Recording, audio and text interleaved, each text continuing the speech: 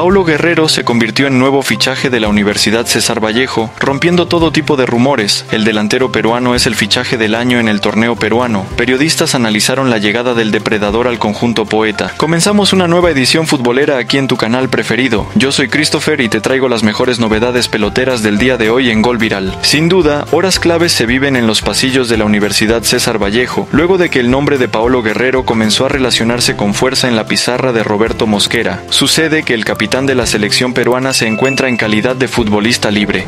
Tras el término de su contrato con LDU de Quito, club con el que ganó el certamen local de Ecuador y la Copa Sudamericana, y ya recibió la propuesta del cuadro que milita en la Liga 1. Aquí lo último que se conoce sobre la operación, ojo, el 9 también tendría una chance de llegar a Colo Colo de Chile. Incluso, según pudo conocer el depredador, está muy cerca de ser jugador de la escuadra trujillana, donde planifican anunciar su incorporación este viernes. Sin embargo, de llegar a un acuerdo, la conferencia oficial se daría entre lunes y martes de la próxima semana. Ojo a un detalle, la intención de la Universidad César Vallejo es realizarle a Paolo Guerrero una oferta para que los acompañe en la presente temporada y en la de 2025, siendo el aspecto económico ya superado entre la institución del norte del país y el futbolista mundialista en Rusia 2018. Los números de Guerrero en el 2023. Paolo Guerrero comenzó el 2023 fichando por Racing Club, lo cual supuso una gran oportunidad para relanzar su carrera en un fútbol competitivo como el argentino. Sin embargo, Fernando Gago no le dio muchas oportunidades y solo completó 22 partidos entre Liga Profesional, Copa Libertadores y Copa Argentina, marcando 3 goles en 847 disputados. Tras quedar libre y al sentir que necesitaba mayor actividad, arribó a Liga de Quito en julio y desde entonces cambió el panorama para el artillero. Gracias a su experiencia y al respaldo de Luis Subeldía, jugó 20 compromisos entre Liga Pro y Copa Sudamericana, ganando ambos torneos con 8 goles en su haber, firmados en 1546. Plan B. Solo si Guerrero no firma. Richard Acuña, gerente deportivo de César Vallejo, habló sobre el tema Paolo Guerrero y, de no darse, contó que existen otras posibilidades. Hemos hablado con dos delanteros más. Esperamos cerrar con el delantero hasta el día miércoles y presentarlo el día viernes en el partido que tenemos ante Melgar.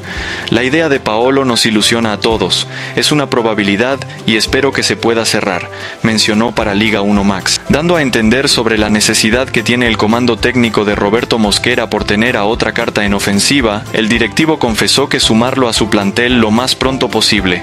Es un gran delantero, gran persona y estamos seguros de cómo nos ayudaría a nivel institucional. Todo el Perú sabe lo que significa Paolo Guerrero. En los próximos días esperamos cerrarlo. Estamos hablando con Marcelo Martins y Teo Gutiérrez, pero Paolo es la prioridad. La 9 es para el delantero que llegue, agregó. Paolo, Sí. Paolo para mí es un jugador extraordinario y, y todo mundo sabe que desde un principio... Y todos son extraordinarios para ti, no, vos, seas pendejo. No, son extraordinarios o que son extraordinarios. no lo no puedes pero hacer. Paolo para mí es extraordinario. Si pidió los 40 años, vos, te has pasado más. pero, Ah, no, Pero- Castor, pero ahora quando é ha a dicho, Sul-Americana. quando Castor, deixa eu comentar, depois tu comenta. Já? bueno. Quando Paulo foi para Racing, tu dijiste também, é master, tá viejo, Na não passou Racing. nada em Racing. Na mierda, Racing. El tipo se levantou, foi LDU e saiu campeão da Sul-Americana, jogando e titular. Então, meteu. ele, não, não pode é questionar um jogador como Não, em Isso aqui, Sul-Americana é eu aceito todo, mas não pode questionar nem rusgar um jogador como Paulo 40 Guerrero. años,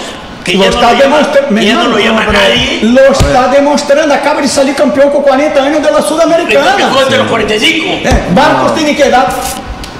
38, creo. Eh, no, aí, ó. Demonstrando. Se o jogador tem capacidade 39, todavía, 39 anos. tanto física ¿Por quanto qué te lo llevan de. Colo Colo? Dime um jogador melhor que Paulo. Um 9, acá em Peru. Dá nenhum. Valera, só Valera. Cauterucho. Não, Cauterucho é melhor que Paulo? Sim. Yo pensé que ibas a decir Valera. Sí. Para em Peru, não há- Valera. até em Peru, há 10 anos não há nenhum 9 de nível de Paulo. Nenhum. No, E hacía Paulo com 40 anos Mira, juega en Ojo, esa, esa, esa dupla, o sea, en el caso de Pa- Paolo, esa dupla Vélez, eh, Paolo creo- puede andar bien. ¿ah? Yo creo claro. que Paolo, ¿No? Paolo Sí. Claro. Guerrero este, ya no está para la selección. Sin embargo, esto no, no me no ¿Por me, no me bloquea el hecho de decir que para mí fue el mejor delantero de los últimos 30 años, Pablo Guerrero. O sea, No, y además- no te cierra bien. Además- no, una cosa es una cosa y otra cosa es otra cosa. Paolo no está para la selección. No. Paolo no está para la selección. Para mí, no está ni para mí. Preguntame quién fue el mejor delantero peruano de los últimos 30 años. Paolo Guerrero. Paolo Guerrero. Pero es innegable ¿Se que viene bien, llega bien. Tú pones a Benavente y a Ahora, Paolo el Guerrero. mayor problema son Benavente las viene a otro lesiones. nivel. Pablo es el Guerrero viene-. Quiero que sea La sincero, lesión. hablar mal de Paulo Guerrero. Por encima de es una Jefferson. No, es de tiene es 40 verdad, años. acabo de Por encima de Jefferson. de Es el mejor delantero de los últimos 30 años en Perú. pero Por encima de Jefferson. Pero, pero el nivel, Hablamos de Vallejo. quiere decir Chavalisto, para el nivel que se maneja en la selección hoy. Ya no está. Ahora, Paulo Guerrero, en nuestro fútbol, Venga. el nivel que jugamos acá, Viene bien vigente, preparado, viene vigente. No viene vigente de, Ecuador. en altura, viene no viene en vigente de. Ecuador. Creo que no. Sobrado. Vigente ha hecho, ha hecho goles no, en Liga Ecuatoriana no, Copa no, Sudamericana. no, no, no, no, no, no, ¿para no, no, no, no, ¿Por qué no A ver, a ver, a ver, a vamos, a que muchachos, nos. Ecuador.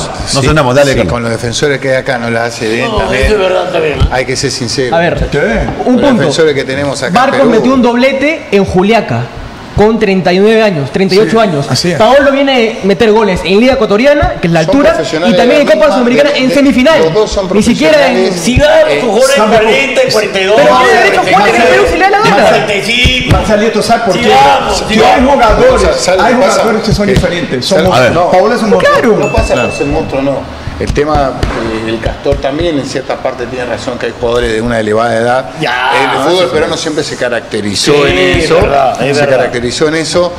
Pero dentro de todo, tanto Barco en este momento y Paolo si es que cierra en Vallejo, Vallejo. hoy van a ser los jugadores más eh, Representativos. eh, no, y los Emblema juegos de la liga. no, y los juegos de la liga, ¿no? Claro. Sí. Los Pero juegos de la la liga, gente ¿no? Vallejo se va a llevar una idea de que este va a ser el killer y que va a meter 20 goles por temporada. Ahora, ¿qué sería que pase? No, va a ser no, goles. que si va a sería goles, pero va a goles. lo va a hacer Gonzalo. Jefferson Vale, hizo goles, no, no, pero- cuando Jefferson recién viene, hace goles claves, Y, ¿sabes? y, y lesionado. Por eso, pero hace goles claves que le permitieron a esa salir campeón. Ahí vamos, a eso quería llegar, a eso quería llegar.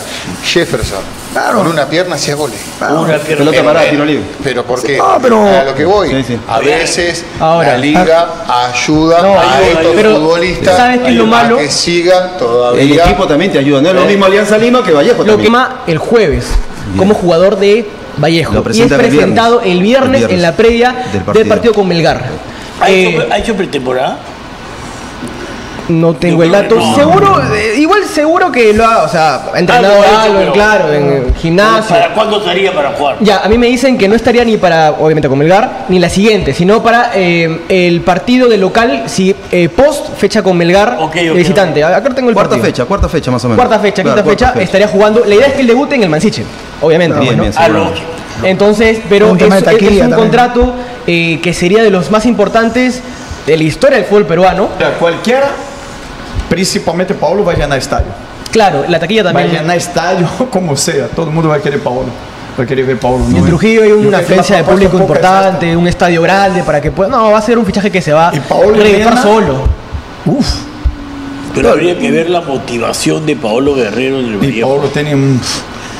Y la relación con don Robertito Mosquera también. ¿no? Bueno, pero Roberto Mosquera ha declarado que. Él lo- habló por teléfono con Pablo. Claro, que lo ha llamado. Él lo ha dicho. Y es más, No.